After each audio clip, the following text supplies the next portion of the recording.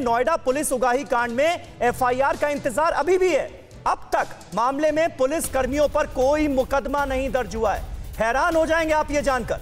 Swat team की बर्खास्तगी के बाद भी केस दर्ज नहीं हुआ है।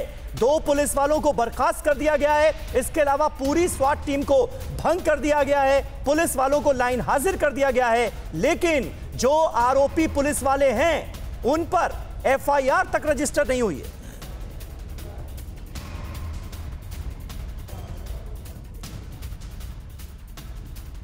अब देखिए बात उठी है तो दूर तलक जाएगी। अब आपको दिखाते हैं कि नोएडा उगाही कांड पर यूपी के कानून मंत्री ब्रजेश पाठक का क्या कुछ कहना है।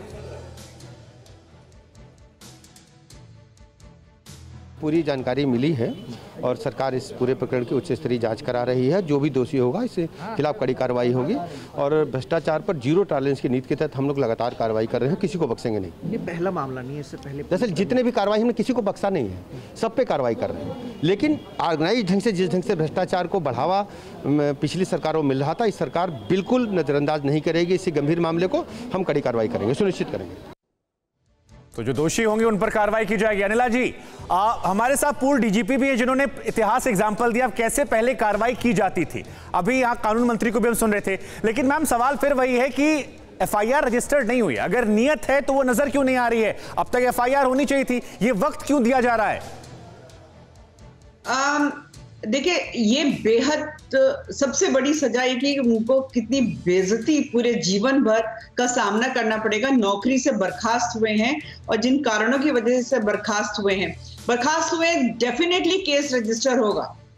ये इंतज़ार क्यों? ये यही सवाल है ना। ये इंतज़ार क्यों? क्योंकि कोई महान काम तो किया नहीं है।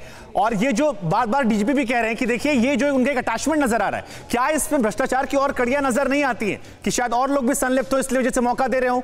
जो बार्गेनिंग पहले गुंडों के साथ चल रही थी वो शायद आपस में चल रही हो कि तुम मुझे एक्सपोज मत करो मैं तुम्हें नहीं करूँगा। शुभांकर जी मैंने जैसे शुरुआत में कहा कि अगर इसको अंडर द कार्पेट डालना था इस केस को तो शायद मैं और आप ये चर्चा नहीं कर रहे होते। मैं भी शायद मना कर देती कि भाई मैं मुझे नहीं बैठना आपके इस विषय पे।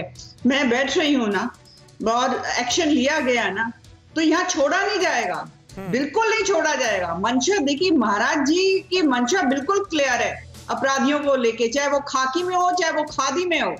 और चाहे वो किसी भी रूप में हो बख्शे नहीं जाएँगे और ना ही हम बख्शते हैं इसमें। एफआईआर जो है मुझे इस क्षण जानकारी नहीं है इस वक्त नहीं है जानकारी नहीं, एफआईआर रजिस्टर ही नहीं हुई है तो आपको जानकारी कैसे होगी? अमीक जमई लेकिन यहाँ पर जो शक पैदा हो रहा है ना लोगों के मन में वो इस बात को लेकर हो रहा है कि खाकी का दामन दागदार हुआ है। इकबाल पर सवाल उठे हैं क्योंकि 20 लाख रुपए और एक क्रेटा कार के लिए पुलिस वालों ने अपना ईमान बेच दिया। अब इस तरह का वसूली गैंग मुमकिन है कि यूपी के और भी जिलों में चल रहा हो।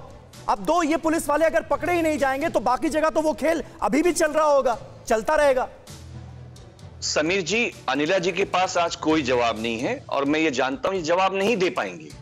मैंने आपसे भी कहा है कि जो नोएडा और गाजियाबाद के कप्तानों का ट्रांसफ़र पोस्टिंग में भ्रष्टाचार का जो मामला आया था उनके ऊपर क्या कार्रवाई हुई? अगर ये उत्तर प्रदेश की सरकार ईमानदार है और जब कप्तान भ्रष्टाचार में डूबा होगा सना होगा ये छोटी छोटी मछलियाँ ये तो ज़ाहिर सी बात है कि ये उगाई करके हो सकता है कप्तान साहब को ही दे रही हो क्योंकि उसका रेट है कि नोएडा कितना रेट है गाजियाबाद का इतना रेट है मेरठ का इतना रेट है फेक इनकाउंटर का इतना पैसा है फेक इनकाउंटर करवाना है तो अनिला जी से मिल लो ये करवा देंगी पुलिस से। ये सब बीजेपी में हुआ है मैं इल्ज़ाम नहीं लगा। रहा पर्सनल टिप्पणी नहीं अमीक ये देखिए गलत है। अनिला जी से जो सवाल पूछा जा रहा है वो जवाब दे रही है ना उसका। अब अनिला जी पर ये व्यक्तिगत टिप्पणी क्यों मैं ये कह रहा हूँ समीर जी मैं ये कह रहा हूँ मैं इल्ज़ाम नहीं लगा रहा हूँ। हाँ। ये पूरे प्रदेश के अंदर अगर आपको इनकाउंटर कराना है कॉन्टैक्ट बीजेपी लीडर अगर आपको किसी की हत्या करवानी है किसी का घर गिरवाना है